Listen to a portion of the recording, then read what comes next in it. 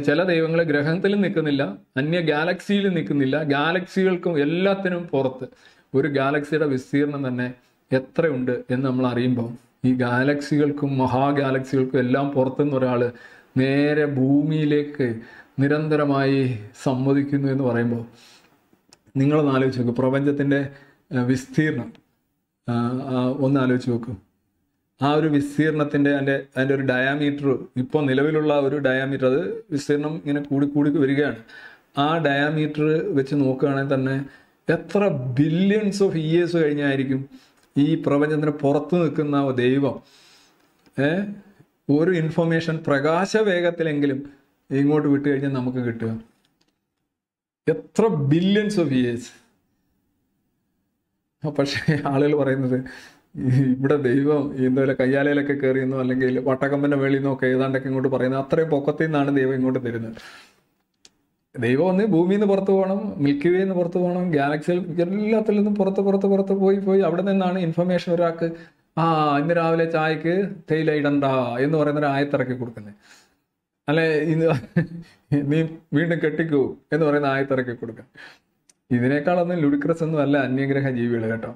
അന്യഗ്രഹ ജീവികൾ ശാസ്ത്രീയമാണെന്ന് വെച്ച് കഴിഞ്ഞാൽ മതം വെക്കുന്ന എല്ലാ സങ്കല്പങ്ങളെക്കാട്ടും ശാസ്ത്രീയമാണ്. അതൊരു അന്ധവിശ്വാസവുമല്ല. മതം വെക്കുന്ന അന്ധവിശ്വാസങ്ങളെ ഗ്രേഡ് വെച്ച് ഒരു വൺ ടു ടെൻ പരിശോധിക്കുകയാണെങ്കിൽ അത് വൺ പേഴ്സന്റ് പോലും ആവുന്നില്ല. മത അന്ധവിശ്വാസങ്ങളെല്ലാം ടെൻ ആണ്. ടെൻ അതായത് ഹൺഡ്രഡ് പെർസെന്റ് ആണ്. അത്രയ്ക്ക് വ്യത്യാസമുണ്ട്. ഇതിനെയൊക്കെ അന്ധവിശ്വാസങ്ങൾ എന്നൊക്കെ പറഞ്ഞ് നമ്മുടെ മീഡിയയിലും പത്രങ്ങളിലും വെബ്സൈറ്റുകളിലും അതുപോലെ തന്നെ സോഷ്യൽ മീഡിയയിലൊക്കെ വെച്ച് അലക്കുന്നവന്മാരെ ഉണ്ടല്ലോ. അവന്റെ ഒന്ന് പരിശോധിക്കണം തൊലിക്കെട്ടി. ഏ? പിന്നെ പരലോക വിശ്വാസം ഞാൻ പറഞ്ഞു. എല്ലാം പരലോക വിശ്വാസം മരിച്ചു കഴിഞ്ഞ് ഒന്നും ഇവിടെ വെച്ച് കൊടുക്കുന്നില്ല. ഒന്നും ഇവിടെ വെച്ച് കൊടുക്കുന്നില്ല. മരിച്ചു കഴിഞ്ഞ് നിങ്ങൾക്ക് ഹൂറി. മരിച്ചു കഴിഞ്ഞ് ഹൂറിയെ കിട്ടും എന്ന് വിശ്വസിക്കുകയും അതിനുവേണ്ടി പട്ടിണി കിടക്കുകയും കല്ലെടുത്തുകൊണ്ട് പോയി കല്ലിന് എറിയുകയും ചെയ്യുന്ന ടീമുകളാണ് വന്ന് പറയുന്നത്. ദൂ ധവൻ അവൻ അന്യഗ്രഹ ജീവിതത്തെ സ്വപ്നം കണ്ട അന്ധവിശ്വാസിയായിട്ട് ആത്മഹത്യ ചെയ്തു. ഊറിയെ കിട്ടുമെന്ന് പറഞ്ഞ് സ്വയം പൊട്ടിച്ച് മരിക്കുകയല്ല. മറ്റു മനു ഇത് അവർ അവിടെ പോയി അങ്ങ് പൊട്ടിച്ച് അല്ലെങ്കിൽ അവർ തന്നെ ബ്ലേഡ് വെച്ച് ആത്മഹത്യ ചെയ്ത് മരിക്കുകയാണല്ലോ ഉണ്ടായത്. അത് ആ മൂന്ന് പേരിൽ ഒതുങ്ങിയല്ലേ. പക്ഷെ ഇവിടെയുള്ള ഈ മുഖ്യധാര ചക്കര നോർമൽ വിചിത്രമല്ലാത്ത അന്ധവിശ്വാസങ്ങളുടെ അടിസ്ഥാനത്തിൽ ഇവിടെ എന്താ സംഭവിക്കുന്നത്?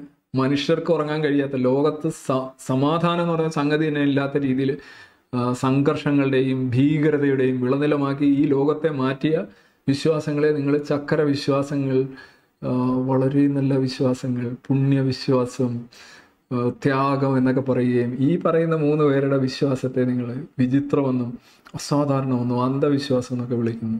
നിങ്ങൾക്ക് നാൺ ഓർ മാൻ നഹിഹേക്ക എന്നൊരു ഡയലോഗ് പണ്ട് മാള അരവിന്ദൻ ഏതോ ഒരു നാണന്മാനുണ്ടോ എന്ന് ചോദിക്കുന്നുണ്ട്. അത് എനിക്ക് ചോദിക്കാനുള്ളൂ ചോദിച്ചു പോവുകയാണ് അറിയാം